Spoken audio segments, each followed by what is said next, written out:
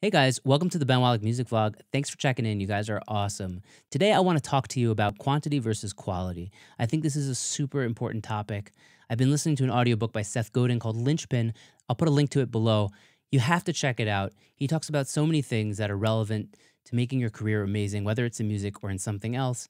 But I've been listening to it, it's been inspiring me. And he talks about quantity versus quality, which is something that I've actually thought about quite a bit in the past because I've had all these clients that obsess about tiny details in songs that nobody cares about, and they never move on to the next song. They never move on to the next album. They just stay stuck where they are, obsessing over small details. I get it. You're a musician, you're an artist, you want to express yourself, and you want your art to be perfect. I get that. But it doesn't work like that because your first piece of art or one of your early pieces of art is never going to be perfect it's more important and more beneficial to you to be done with the project, to ship the project and move on to the next one. Because at the end of the day, it is a numbers game. The more stuff you do, the better you're going to get at your craft, the more likely that one of those things will be great. Pablo Picasso painted thousands of paintings, and we only know a few of them by name. I happen to have been to his museum in Barcelona, so I've seen a lot of them. They're all amazing, but only a few of them do we all know.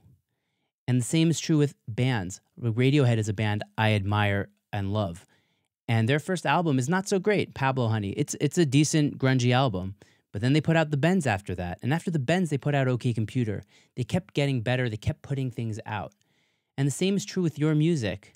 If you're obsessing over a mix that you've been doing for a month and you don't love the way it sounds, you're going to probably just have to ship it be done with it, move on to the next project, and maybe the next project will sound amazing. Or maybe the project after that, you don't know how long it's going to take. You got to keep working on it and you got to put things out, be done with them so you can move on. These clients I've had that obsess over nuances are afraid of moving forward. It doesn't do them any good, especially in 2017 when people are so distracted, their eyes see so many things on social media if you think they're waiting for you to finish this perfect piece of art, you're wrong. They're not waiting, they're distracted by other things. So put more things in front of their faces, and eventually, maybe one of them will be great. So remember, it's a numbers game. The more you do, the more likely you are to do something great. So stop obsessing, stop tweaking, finish a project, and move on. And I promise you, you won't regret it because you're going to just, you're going to write another amazing song. It's not just this song, there's so many more. So do yourself a favor, stop being afraid, hit publish, hit bounce, finish the project, and move on. All right, guys, I hope you dug this video. If you did, please press like, please hit subscribe, and leave me a comment. Let me know what you think. I think this is super important.